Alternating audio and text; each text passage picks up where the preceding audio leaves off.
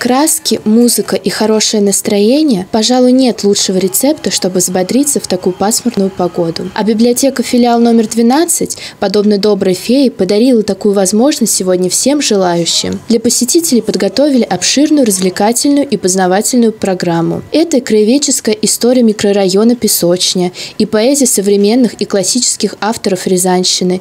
А для желающих раскрыть свой творческий потенциал – открытый микрофон, где каждый смельчак мог прочитать читать любимые стихотворения. Наша библиотека попала в национальный проект. Мы получили грант в 5 миллионов рублей.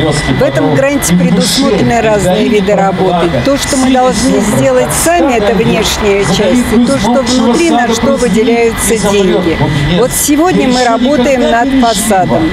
Красим его сами. Чтобы помочь сделать библиотеку ярче, нужно было совсем немного – кисть и фартук. Оказывается, для этого совсем не обязательно быть профессиональным художником, хотя именно он будет последним аккордом в этой композиции. Согласно задумке, каждый цветной блок превратят в иллюстрированную страницу книги прямо поверх фасада. Наши читатели больше и чаще приходят к нам. Сейчас появятся новые книги, новая мебель, новые красивые зоны.